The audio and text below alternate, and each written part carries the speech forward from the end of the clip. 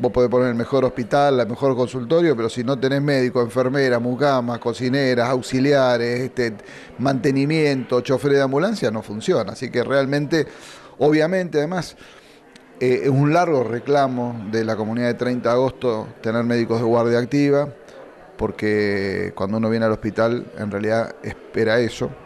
Pero bueno, hay tiempos, hay momentos, hay etapas, este, y creo que llegamos a la etapa de maduración, donde además tenemos recursos humanos, digamos, cuando haber incorporado eh, médicos, siete médicos entre los dos correntinos y los cinco médicos venezolanos, eh, nos permite tener un poco más de aire para empezar a, a seguir caminando hacia el futuro. Lo del pediatra estamos trabajando mucho con Sergio, con Paco, buscando el recurso humano, no es fácil, pediatría es una especialidad este, donde es difícil este, conseguir. 30 de agosto tiene un atractivo muy particular porque es una ciudad relativamente grande y sería el único pediatra, o sea que tendría un, capital de pacientes y demás en lo privado también interesante, ¿no? Así que yo creo que lo vamos a conseguir, estamos trabajando para eso. Eh, el tener un servicio de pediatría grande como el que tenemos en el Hospital de Trenquelauquen y trabajando en red, como venimos haciéndolo, nos permite poder acomodar en Trenquelauquen de otra manera y poder disponer de pediatras que vengan a suplir a la falta del pediatra hasta que tengamos uno viviendo acá. ¿Eso que nos da? Nos da tranquilidad, pero también habla de la solidez del sistema de salud de Trenquelauquen, digamos, de la versatilidad que tiene para tapar un agujero, tapar otro, salir esto de trabajar como sistema, ¿no? No como un hospital por un lado, un hospital por el otro, trabajar mancomunadamente, de manera articulada. El equipo de rayos tiene ese sentido. Es lo que nos permite seguir avanzando en una, en una calidad de atención que creo que pocos lugares del interior de la provincia tienen. El tema de la dirección lo estamos evaluando.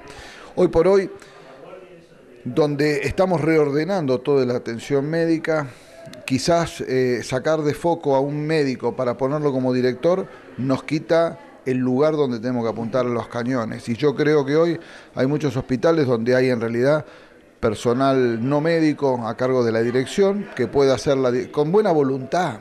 En una comunidad como 30 de agosto, los problemas médicos se pueden resolver en una mesa, charlándolos. Eh, si hace falta en el futuro, lo veremos. Este, eh, Hoy me parece que el foco está en ordenar el sistema de atención médica, garantizar consultorios mañana y tarde en buena cantidad. Estuve viendo estadísticas, digamos, yo sabes que veo mucho las estadísticas todos los meses. Y, veo el caudal de consultas. Tenemos un promedio de consultas en 30 de agosto parecido al de Trenquelauquen, un poquito más bajo, producto de que no tenemos tantos especialistas.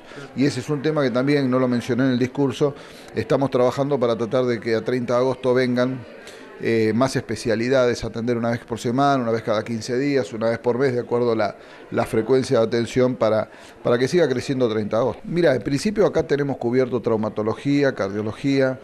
Eh, yo diría que hay algunas especialidades de alta demanda que podríamos evaluar.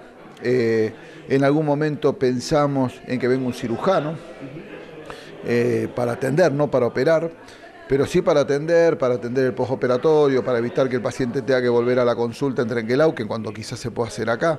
Bueno, estamos viendo las, las de mayor demanda, eso lo sabemos con las bases de datos, digamos, qué cantidad de consultas de pacientes de 30 de agosto tenemos en las especialidades de Trenquelauquen y a partir de ahí ver con qué frecuencia, si una vez por mes, cada 15 días, todas las semanas, tenemos que cubrirlo. 30 de agosto necesitaba una modernización del hospital, necesitaba una ampliación del área de consultorios, como todo lo que hemos hecho también en Trenquelao, que en esto es como un ajedrez. Moves una pieza para después poder mover la otra. Nosotros tenemos que arreglar la guardia, por ejemplo, de 30 de agosto, pero no puedo arreglar la guardia si no arreglo primero los consultorios. Y la gran circulación de pacientes se da en los consultorios. Entonces, un lugar como este, que vos lo ves nuevo, que invita a estar cómodo, agradable, con buena calefacción, buena luz, que es bueno para los pacientes y es bueno para los profesionales un consultorio de odontología totalmente equipado nuevo, hace que esto sea, digamos, el orgullo de la comunidad. Luego llegará el momento de, una vez que se desactiva toda la parte vieja, empezar a trabajar en la guardia. Yo no quise hacer anuncios porque hoy tenemos que cerrar esta etapa, pero nosotros tenemos que trabajar en la nueva guardia del Hospital de 30 de agosto y el objetivo para, para la próxima gestión tenemos que ampliar e independizar el geriátrico del hospital. No quizás moverlo, porque hoy no tendríamos los recursos económicos, pero con una obra menor se puede ampliar el geriátrico existente, dotarlo de mayor amplitud de áreas independientes del hospital y tratar de que se, separe, incluso para hacerlo habilitable por PAMI, que para mí es un tema muy importante como hemos hecho en Trenquelauquen y como vamos a hacer con el de Beruti.